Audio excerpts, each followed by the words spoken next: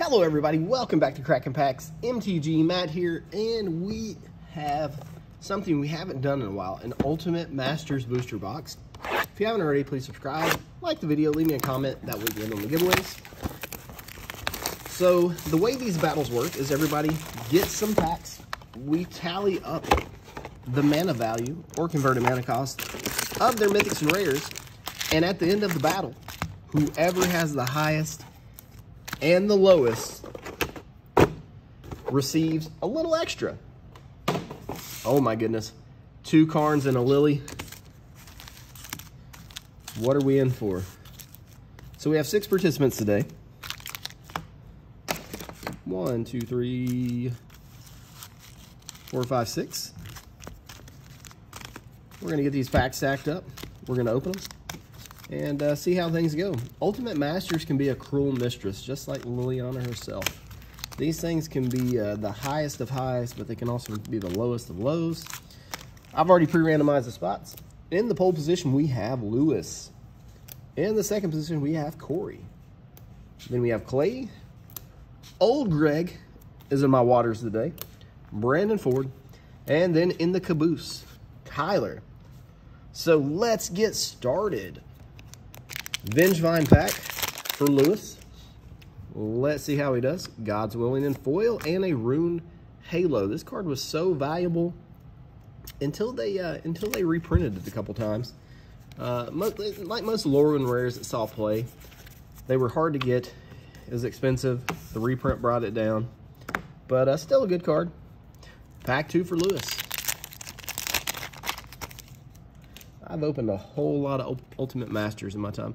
Foil Miming Slime and a Visions of Beyond. This card is actually pretty good now. Uh, up there in double digits in price. See if we can get a couple Kodama's Reaches in the common slot.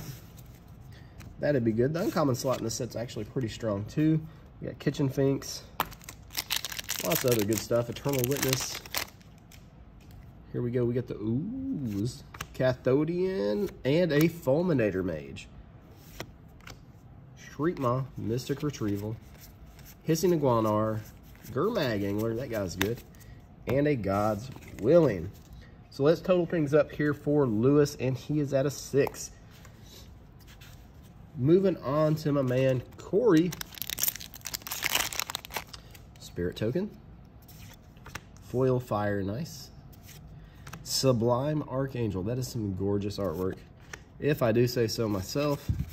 Artisan of Kozilek, Verdant Eidolon, and a Unicorn to finish off the pack. Pack two. These uh, the card stock on this is so nice, and the foiling is so pretty but so subtle because they were printed in Japan. Spoils of the Vault. There we go, another one of those nice uncommons. Lab Man. Defy Gravity there, Ulamog's Crusher, and a Mammoth Umbra.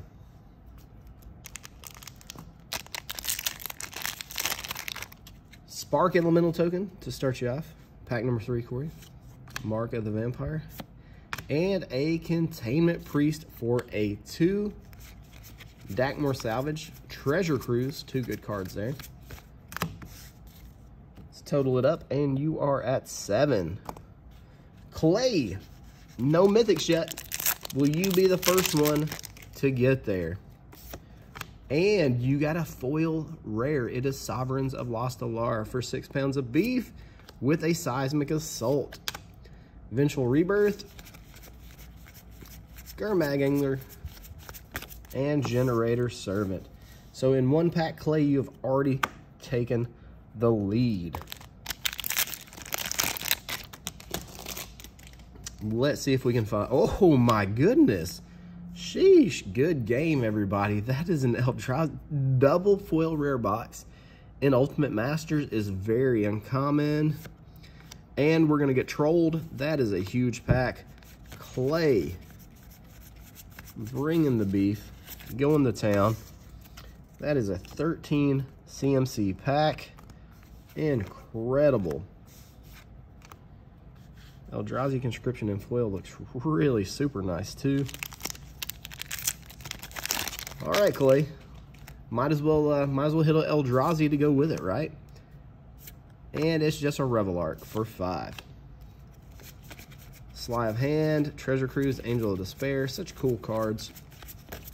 Ingot Chewer. Let's get this stack straight. Five more there. And 27 for Clay. Holy moly. I don't think there's going to be any catching Clay. But we got old Greg in the house. He's going to offer us some Baileys from a shoe. Woodfall Primus for eight. Oh my goodness. Old Greg has got a strong start. Don't know if he can catch old Greg unless we spike one of the Eldrazi. But the Woodfall Primus is a good start. Pack number two. Foil, foil, and a Fauna Shaman. Nice hit there. Really love this card. Really love the artwork. Gives me World of Warcraft vibes. Just saying. Murderous Redcap, that, he, he, it just freaks me out. Magma, Walker of the Grove, Wild Mongrel, and a double cleave. The uh, I remember when this came out, it was like around Christmas time of 2018. And we did a draft of it at my local store. And I drafted a uh, a green and black deck that was full of Gurmag Anglers, Wild Mongrels, Basking Root Wallas. It was so good. All right, pack three for you, old Greg. And you got Pam. Pam making an appearance. Young Peasy, Chainer Edict, Last Gasp, and Spark Spitter. Gonna be an 11 for old Greg. No mythics, where are they hiding? Brandon. I opened this one like a noob instead of ripping the tab.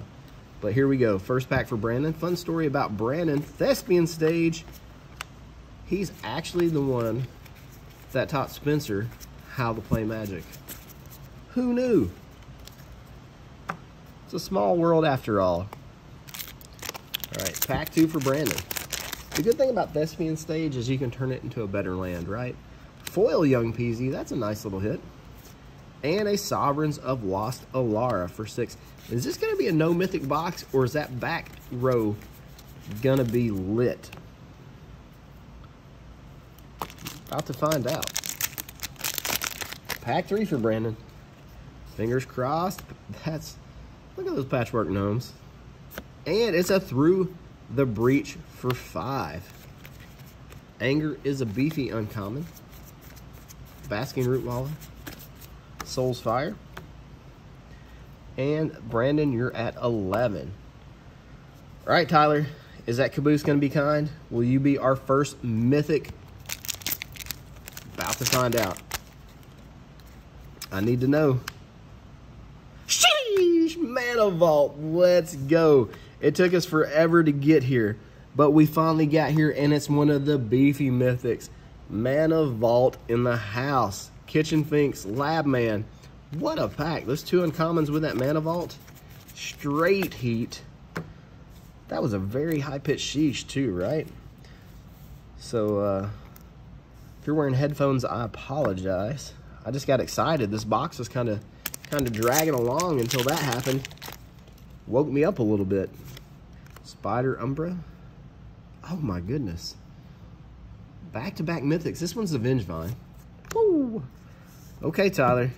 You're going to be the hamburglar of the battle, it looks like. Oh my goodness. So we're going to write you down for four more there. If you got a third mythic here, if you got a third mythic, I don't know what I'm going to do, but I'm going to do something. Sigil of the New Dawn. Oh my gosh. Back to back to back mythics, and it is Big Mike, the Unhallowed. That is insanity. Slippery Boggle eating a fish. I'm in pure shock and awe right now. I don't think I've ever hit three mythics in a row like that. They were all in Tyler's stack. Wowzers.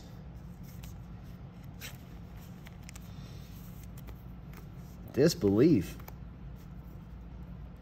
That's 11 for Tyler. Let's do a recap. We got Lewis at 6, Corey at 7, Clay at 27. Wow, 27. Old Greg, Brendan, and Tyler all tied with an 11. let's open these last packs. Don't know if we'll get another Mythic. Typically three is what we get out of UMA box.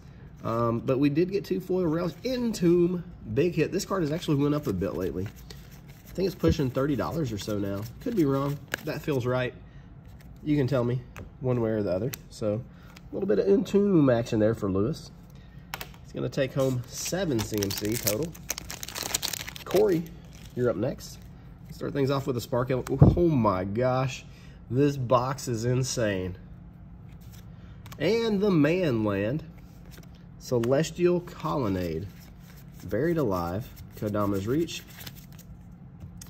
So the issue we've just ran into, because Corey hit the Manland, we have a tie for the low spot thus far.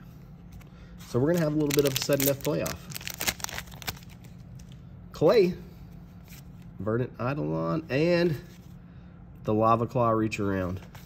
E-Witness, Opal Snout, and a Resurrection. So back-to-back -back Manlands. But Clay, you're still in the lead. Nobody was catching you with that 27. Old Greg.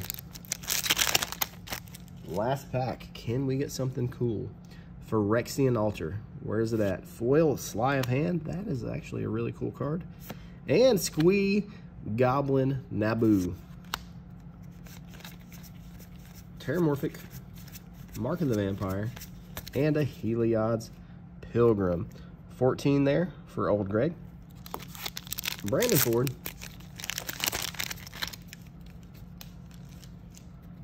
All right, Brandon, good luck in your last pack. And it is, wow, four mythic box, baby. This is, this is actually like four mythics, two foil rares is really uncommon in Ultimate Master. So this is a, it's a good box. Lava Spike to go with it too. Wowzers. Did not see that happening. Two foil rares, four mythics. Of course, Tyler got Tyler got three of them, dude. Tyler got three of them. All right, here we go, Tyler. Last pack. Martyr of Sands. Gorgeous artwork there. And you're going to... Wow, nice hit with the Gamble. That's a good card. That's that red tutor that makes you pitch a card, which is usually a card you tutored for. But nonetheless, that's a solid 20 bucks. So let's finish up the totals. We got Lewis at 7 and Corey at 7. That's a tie for the low spot. We got Clay sitting up top with a 27. Old Greg at 14. Brandon at 11. And Tyler at 12. So what we have to do, we have to do a sudden death battle for this low spot, right? So we got Lewis, we got Corey, and let me verify these sevens here. So we got one, four, five, Lewis the seven is correct. Corey's got four, six, seven. We do have to battle this out. So whoever has the highest CMC out of their sudden death pack takes that low spot. Lewis, you are up. Good luck to you. And your number is going to be four. Corey, you have to beat four. Can you do it? Do you have it in you? Four is a solid total. Let's see what happens here. And Dream Shackle Geist is not going to get there, Corey. So that means by sudden death, Lewis takes a low spot. So Lewis, you're going to snag two collector boosters. You're going to get a Hunt and a Val collector boosters. So congratulations. Clay, with his beefy 27 total, grabs the topper. But we're going to random off a pack of double feature. So let's put everybody else in the, uh, the randomizer here. Let's see, Brandon and Tyler. We're gonna roll the dice. That is a four. So whoever is on top after four rolls receives the bonus pack. That's three and one more time. And Tyler, you're on top. So that means you snag the bonus pack. So I'll tell you what, since I feel bad how this box went, Tyler got three mythics and a bonus pack. I'm gonna give every when I ship this out, I'm gonna give everybody a pack of something just for just for good feels. Jar Ludafish for good feels. But uh, let's open these bonus packs for everybody. Tyler, silver screen time, baby. Let's go. I like this set, this this product a lot better than I thought I would. I'm to be completely honest. Headless Rider and the Sprout.